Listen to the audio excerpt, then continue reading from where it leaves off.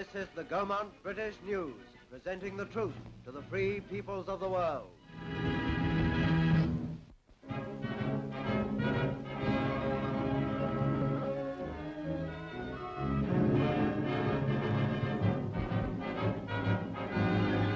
We have read and heard of the taking of the important Munda Air Base from the Japanese in New Georgia Island.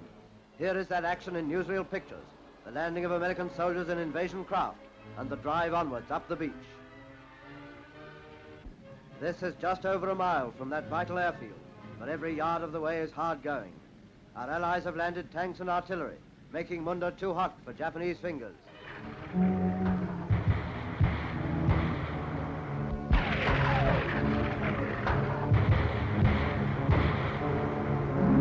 Snipers, as always, in this Jap-infested jungle.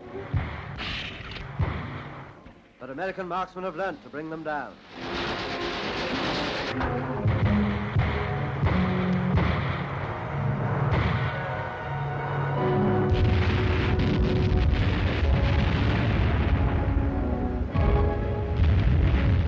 Sky above New Georgia airfields is filled with Allied planes, a change in the shifting of the balance of Pacific air power.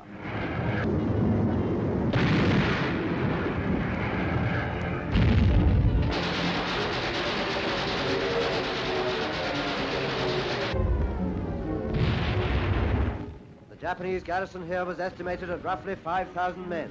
Nearly 2,000 were killed outright. But this is only preliminary to the great Far East offensive that is soon to come.